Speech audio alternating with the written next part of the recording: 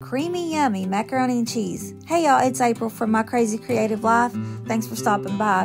In today's video, my cousin had asked how I made my macaroni and cheese, so here we go.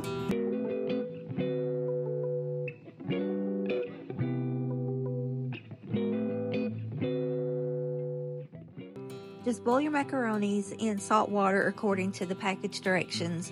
This was a small box and I probably used about half a box for my family. Then you want to drain it once they're done. After I drain mine, I do give them a quick rinse to get off some of that excess starch and drain them again.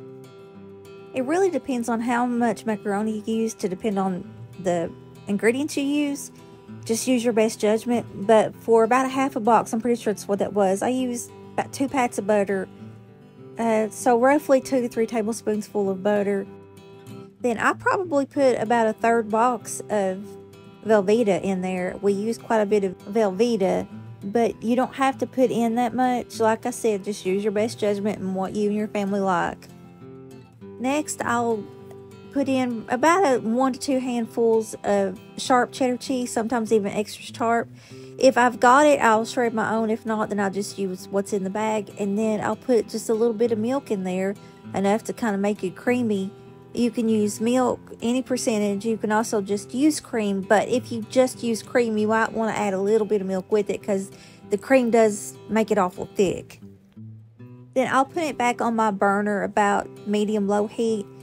Eh, but you got to stir constantly because if not, that butter, the milk, the cheese, all of that's good stuff that wants to stick to the bottom. So you definitely got to be stirring everything really good quite frequently. And then I also just add salt and pepper to taste.